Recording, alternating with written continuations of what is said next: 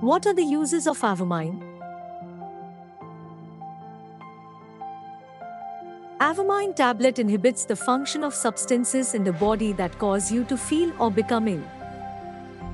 Avomine tablet is a sedative antihistamine used to treat allergic symptoms such as itchy or watery eyes, hives, rashes, runny nose, itching, and sneezing.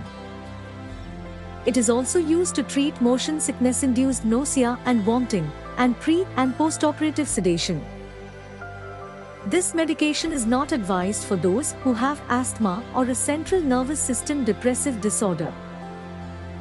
It helps prevent or cure nausea and vomiting caused by other factors, such as additional medications, radiation therapy, severe headaches, problems with balance caused by infectious disorders.